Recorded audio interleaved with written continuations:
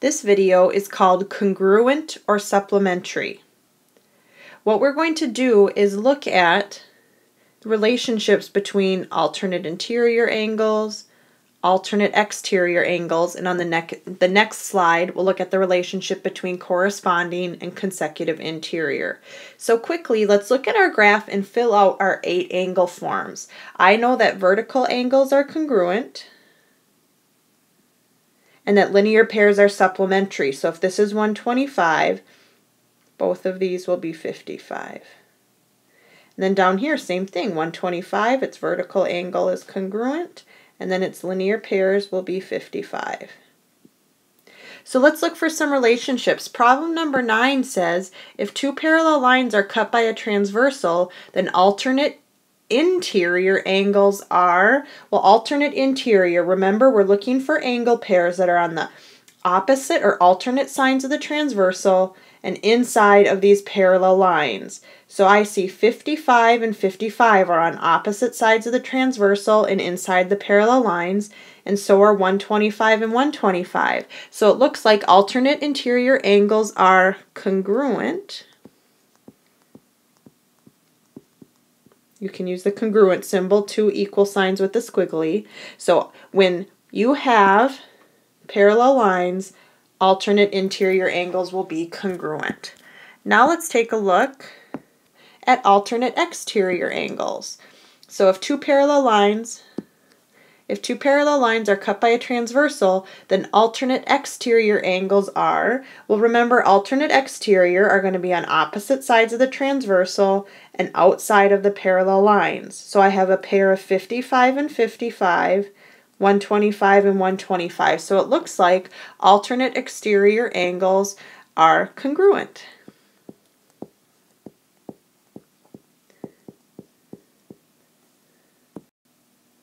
All right, let's look at problem 11. Same picture, so let's quickly go through and mark our 125, 125, and the rest with 55. Just like we had on the previous screen, so you should already have that part written on your note sheet. I just have to catch up to you. So now we're looking, problem 11 says if two parallel lines are cut by a transversal, then corresponding angles. Well, remember corresponding, if you think of these lines as streetlights, we've got an intersection, or think of the lines as streets and the intersection as a stoplight here and here. Corresponding, they're in the same relative position according to the stoplight. So at this intersection right here, the 55 is in the upper left-hand corner. Look at our other stoplight or our other intersection. Its corresponding will also be in the upper left-hand corner.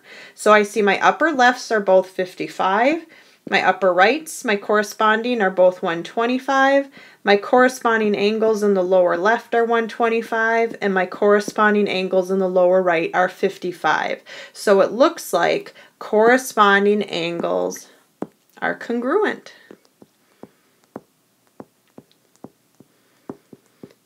So, so far, all of our angle um, relationships we've been looking at have been congruent.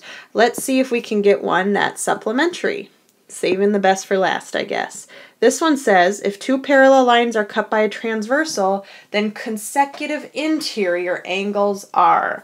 Well, consecutive interior, for some reason, are the hardest ones for students to remember, but they're not bad. Consecutive interior are on the same side of the transversal and inside of your parallel lines. So I think these two, the 125 and the 55, would be considered consecutive interior. And my pair over here that are on the right side of the transversal would be another set. So I look, it's obvious they're not congruent because this one is an acute angle, it's bigger than 90 degrees, and its consecutive interior match is acute, it's less than 90. So just by looking at them, we know for sure we wouldn't call them congruent. They don't look the same. One is obtuse, one is acute. So then our other choice is to say that they are supplementary.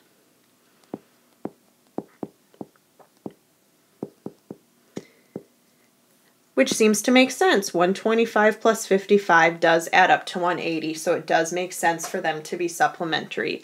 So just remember, alternate exterior are congruent, alternate interior are congruent, corresponding are congruent, and consecutive interior, that's the only match that is supplementary.